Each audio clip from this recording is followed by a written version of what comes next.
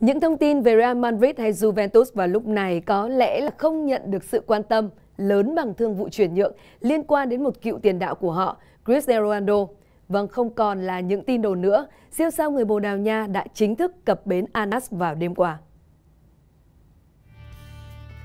Cristiano Ronaldo và câu lạc bộ Anas đều đã xác nhận việc siêu sao 37 tuổi sẽ chuyển đến chơi cho đội bóng của Ả Rập Xê Út.